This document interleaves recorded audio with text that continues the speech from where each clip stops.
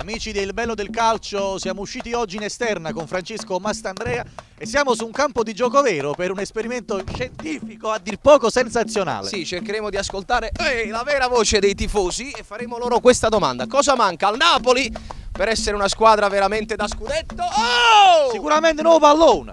Qualcosa sto dentro con la pecola nera, perciò che, che, che, che giù questo è. Il signor Russo Mario, Antonio Occhiobuono, noto ultra... Il signor Gennaro, eh, Michele, il signor Francesco, Cimarrazzo Francesca.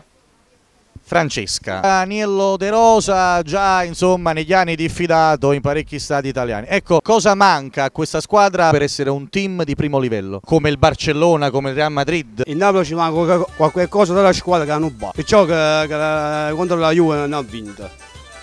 Il nostro presidente dovrebbe prendere esempio dai presidenti di Real Madrid e Bar- Barcellona e sia Manchester City. Quindi Real Madrid, Barcellona e Manchester City. C'è qualche cosa che più Sì, non è, è completo, però come riserve diciamo che è scarso il Napoli. eh. più perfetta del Napoli, più, più attaccata non c'è, non c'è stato quello là che, che porta il pallone dentro la porta. Ci vogliono i giocatori di classe e noi morti che, che fa arrivare ogni tanto che si, leva, si levano a noi giocatori buoni e poi mandano i giocatori morti a casa. Vuoi fare un saluto ad Armero? Yeah, I greet everybody.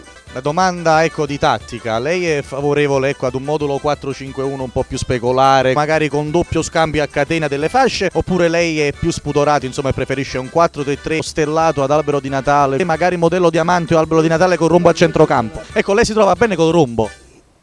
No, no, non mi piace.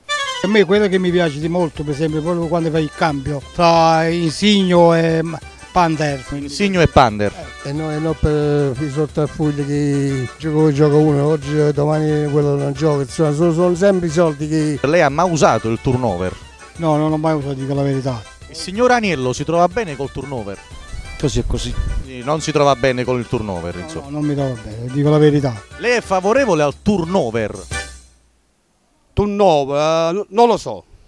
Saluta di eh, di Vansa Zazzaroni. Zazzaroni. E Claudia Mercurio? Claudia Mercuro.